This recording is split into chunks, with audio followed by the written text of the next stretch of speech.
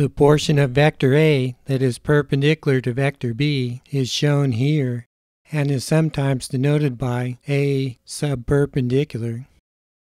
Angle theta is the smallest angle between the two vectors when they are placed tail to tail. This perpendicular portion is A sine theta. The vector cross product of the two vectors A and B produces a vector C equals A cross B. The magnitude of the cross product is the magnitude of A times the magnitude of B times the sine of the angle between the two vectors when they are placed tail to tail. The magnitude of the cross product gives the portion of one vector that is perpendicular to the other. We have AB sine theta, or the portion of A that is perpendicular to B, times the magnitude of B, or the portion of B that is perpendicular to A, times the magnitude of A.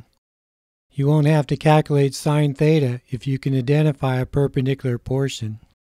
Remember that the vector dot product gave the portion of one vector that was parallel to another. For example, if the magnitude of A is 4, the magnitude of B is 7, and theta is 19, please show that the magnitude of the cross product is 9. Two vectors A and B always lie in a plane. The vector C equals A cross B is perpendicular to that plane, no matter the orientation of the plane. My thumb is pointing in the direction of vector C. But the perpendicular vector C could point above the plane or below it. The one we choose is determined by our right hand rule. Using our right hand, we first point our fingers in the direction of vector A and then curl our fingers toward vector B. Your thumb points in the defined direction of A cross B.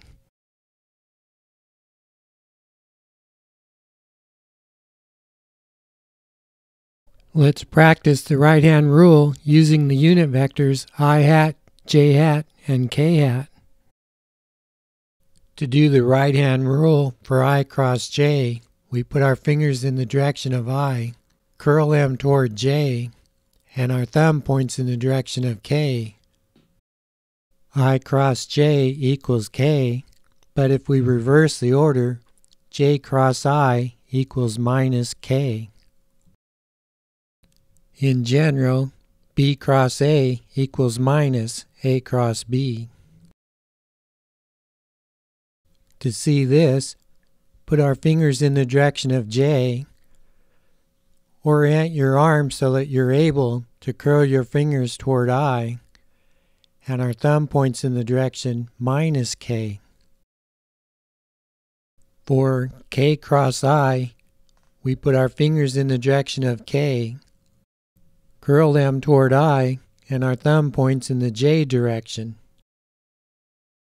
For J cross K, put our fingers in the direction of J, curl them toward K, our thumb points in the I hat direction. For minus X cross minus K, fingers in the direction of the negative X axis, curl them toward negative K, thumb points in the minus j direction. For i cross k, put our fingers in the direction of i, curl toward k, and our thumb points in the minus j direction. For minus k cross i, fingers in the minus k direction, curl toward i, and our thumb points in minus j direction. For minus k cross j, fingers in the direction of negative k, curl them toward j, and our thumb points along the i direction. For minus j cross k, fingers in the direction of negative j, curl them toward k, our thumb points in the minus i direction. Now we can write all the components for the vector a cross b. Here's the vector A with its i, j, and k components, and here's the vector B with its i, j, and k components. We multiply these two trinomials and include the cross product between each pair of components. We have a sub x i hat cross each one of these three components of vector b plus a sub y j hat cross each of the three components of vector b plus a sub z k hat cross each of the three components of vector b. For example, the first pair, ax i hat cross bx i hat, gives 0 because i hat cross i hat is 0. And then we have ax by i hat cross j hat, which we've decided is k hat. Using i cross j equals k, j cross k equals i, and k cross i equals j, and their negatives, we gather terms and get a cross b equals i hat times this mixture plus j hat times this mixture plus k hat times this mixture. Notice that the x part of the cross product depends on y and z components of the two vectors. The y component of the cross product is this mix of x and z components, and the k hat component is this mix of x and y components. The vector cross product c equals a cross b is also written in terms of this determinant, where we list ijk in the first row, the x, y, and z components of vector A in the second row, and the x, y, and z components of vector B in the third row. For example, with vector A equals 3i hat minus 4j hat plus 2k hat, and vector B equals minus 2i hat plus 0j hat plus 3k hat, we form the determinant with ijk in the first row, 3 minus 4 plus 2 in the second row, minus 2, 0, 3 in the third row.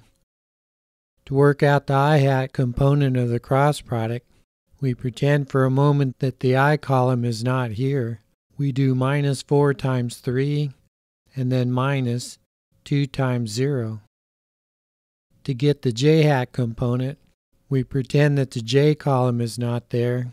We do 3 times 3 minus 2 times minus 2. But we also put a negative sign out in front of all of that. For the k-hat component, we temporarily pretend this column is not there. We do 3 times 0 minus negative 4 times minus 2. The numbers give minus 12 i hat minus 13 j hat minus 8 k hat for the direction of the vector c that results from a cross b. In the determinant, notice that we do plus i, minus j, and then a plus k. The magnitude of the cross product c equals a cross b gives a portion of one vector that is perpendicular to the other vector and the direction of the cross product is given by the mix of products and sums and is always perpendicular to the plane formed by the vectors a and b.